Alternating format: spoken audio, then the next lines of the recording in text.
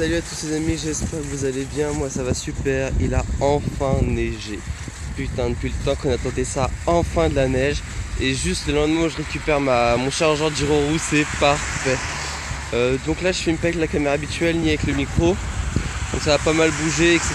Mais j'ai pas le choix, je suis avec le téléphone parce que le téléphone je l'ai oublié au travail pour enregistrer le son. Donc là, hop, et puis en plus de nuit, euh, le téléphone a quand même une meilleure euh, qualité par rapport à son capteur qui est un petit peu mieux. Mais voilà, ce sera une vidéo pas très longue, enfin je sais pas.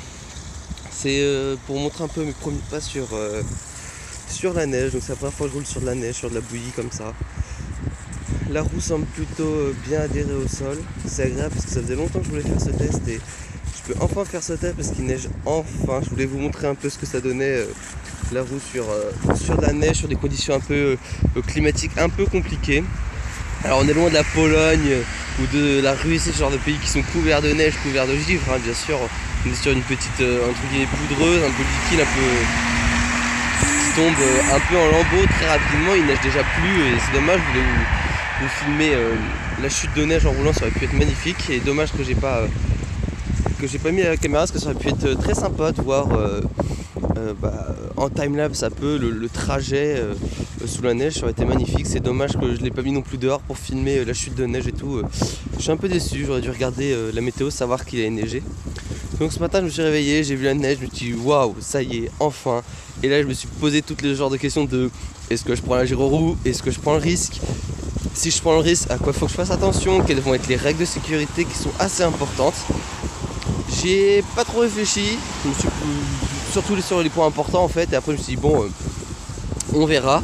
Et euh, du coup je vous ferai plus précisément sur une bonne vidéo bien explicative, parce que là il y a des choses je pense qu'il faut faire comme ça, mais je l'ai pas encore testé. Donc cette vidéo est un peu à prendre avec des pincettes et c'est euh, que de la pure théorie de mes habitudes. Et ce n'est pas en aucun cas euh, la vidéo de oui il faut faire ça, non là c'est une vidéo de je pense que et voilà je, le précise bien parce que c'est important et je ferai du coup ce soir euh, la vidéo de il fallait plus qu'autre chose. je vais faire attention à ce que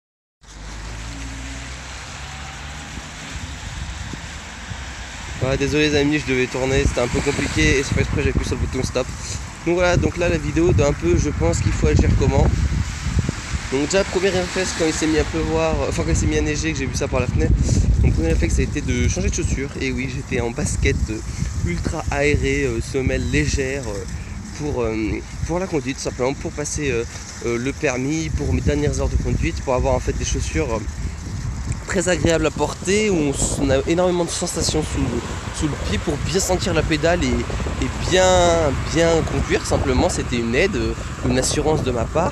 Mais du coup, forcément, bah, là, dès qu'il pleuvait, dès qu'il y avait de la flotte, j'avais les pieds trempés. Exemple, hier soir, j'ai roulé dans une flaque d'eau, ben, j'avais les pieds inondés de flotte parce que l'eau rentre de. Elle les chaussures euh, trouées, quoi, limite. Donc là, je me suis dit, ça va pas. Donc, euh, changement de chaussures, bottines. Et vous savez déjà ce que ça fait les bottines en giro euh, c'est horrible. Voilà, tout simplement, ça fait mal, c'est inconfortable. Vos pieds sont au bord de la pédale quand vous avez des grands pieds.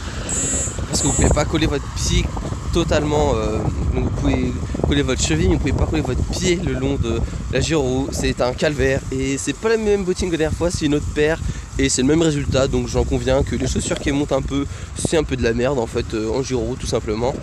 Mais euh, quand même, il y a de la neige, il fait froid, ça glisse. Donc j'ai quand même besoin de chaussures qui avaient quand même un peu de crampons, qui adhéraient au sol, etc.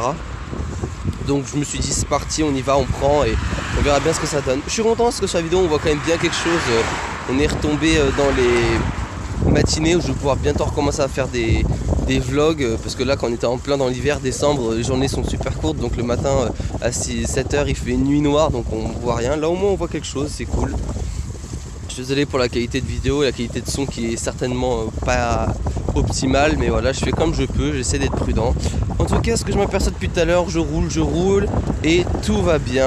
La gyroroue ne glisse pas, la gyroroue adhère au sol. Je n'ai pas de sensation particulièrement différente. Euh, je n'entends même pas l'eau s'évacuer, je me sens pas éclaboussé ou autre. Je sens pas qu'elle peine. Euh, voilà. Par contre, euh, premier truc que j'observe principalement, c'est qu'on ne voit pas tout ce qu'il y a sous la neige.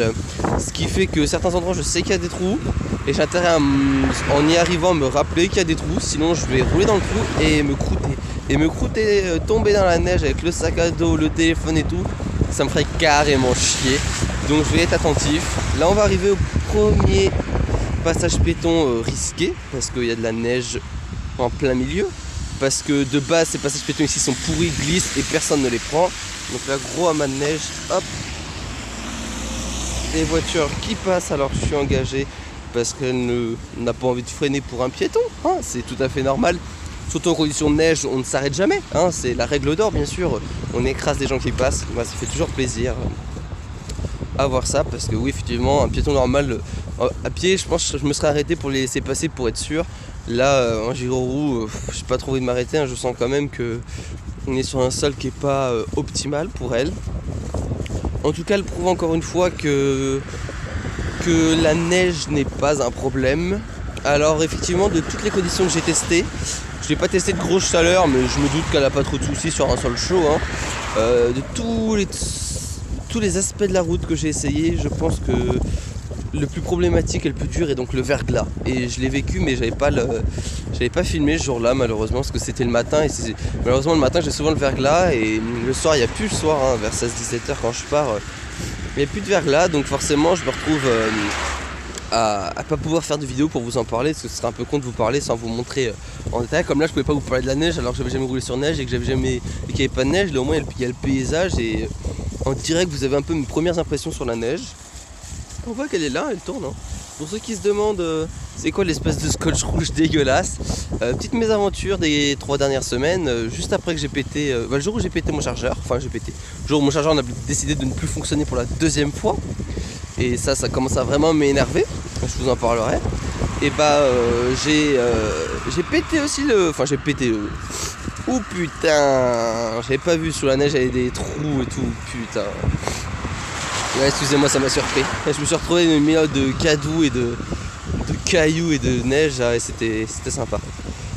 Et bah, euh, je me suis aperçu aussi que j'avais perdu le capuchon qui protège l'orifice de chargement de la gyroroue. Euh, oh putain, il là le trou. Voilà, c'est bon, je l'ai évité. Le plus dur de tout le trajet est fait. Enfin, non, après, il y a la partie près de. Oh non ah, j'ai eu trop peur. Je sais pas si vous avez vu, c'est la grosse flaque d'eau soulevée. Je me suis dit, le gars, s'il emporte ça sous ses pneus, je vais prendre une douche marron, quoi. Ça va, tout va bien. Euh, donc, euh, je me suis dit, euh, bah, je sais plus ce que je disais. Voilà, voilà, c'est super, c'est cool. Putain, ça fait plaisir en tout cas de vous retrouver, de parler un peu. Là, ça faisait longtemps quand même. Ça faisait pas loin de trois semaines. Ah oui, là, justement, le chargeur, trois semaines, tout ça. oh, il y avait un caillou, je l'ai senti, lui. Euh, bah par contre on sent tout ce qui se passe sur la route hein, parce qu'on évite aucun trou, on évite aucune bosse, on évite aucun caillou. Alors euh, on a bien les sensations de la route. En tout cas ceux qui aiment bien euh, sentir ce qui se passe sur leurs pneus, là c'est assez drôle. Alors je me concentre, passage piéton. Ah.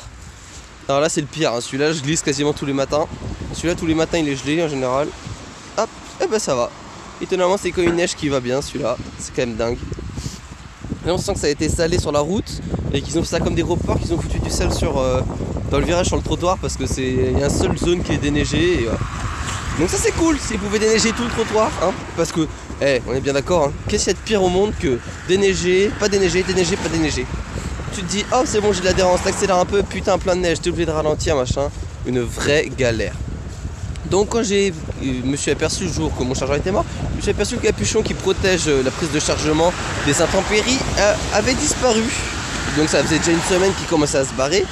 Et du coup, ce qui se passe, s'il neige ou s'il pleut, bah, l'eau peut rentrer dans la prise de chargement. Donc si j'ai vu, je laisse sécher 2-3 heures, ça va.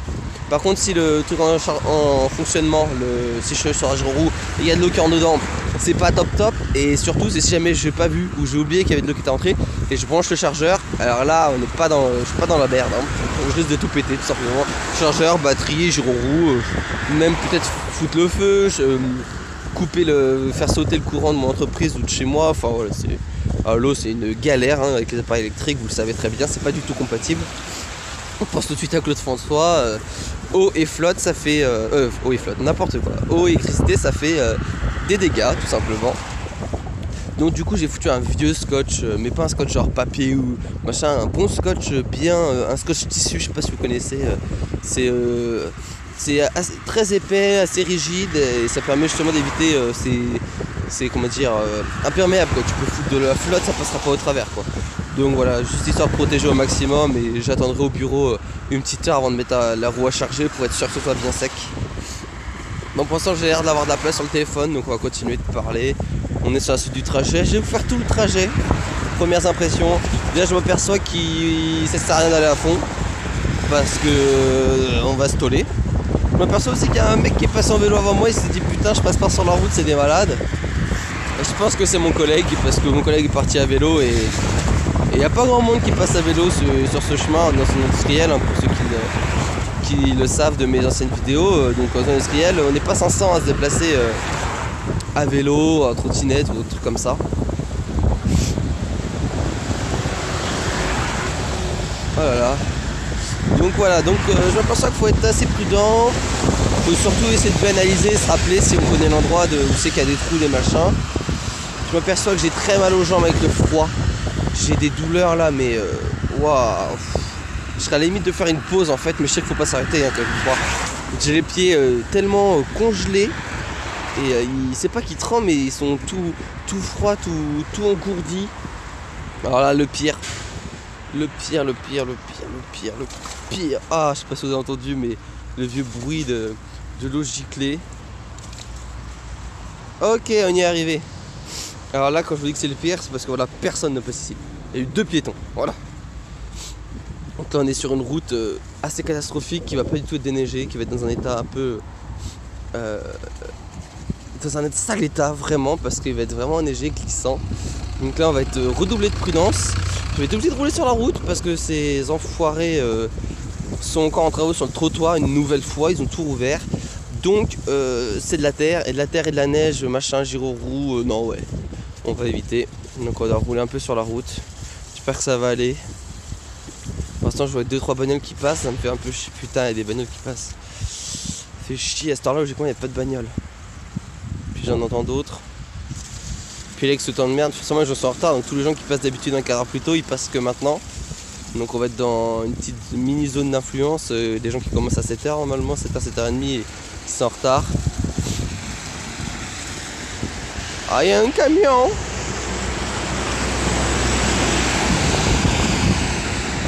Ce que je ne pas c'est qu'il m'arrose en fait. Ok je passe, je passe, je passe, je passe, je passe, je passe. C'est bon. Ce que je voulais pas, c'était me prendre la douche du camion. Ah, ça. Et on arrive à des zones aussi assez critiques. Ah ouais, le, chemin il est marrant. Putain, il y a un piéton sur le, sans déconner. Première fois je passe quelqu'un sur cette route. Oh là là On va être méga prudent les amis. Du coup pas de musique hein. quand il y a de la neige comme ça, faut être attentif. Putain, un mec est passé ici en vélo quoi, sans déconner. C'est vachement étrange pour passer à vélo. Oh putain, il y a des branches et tout.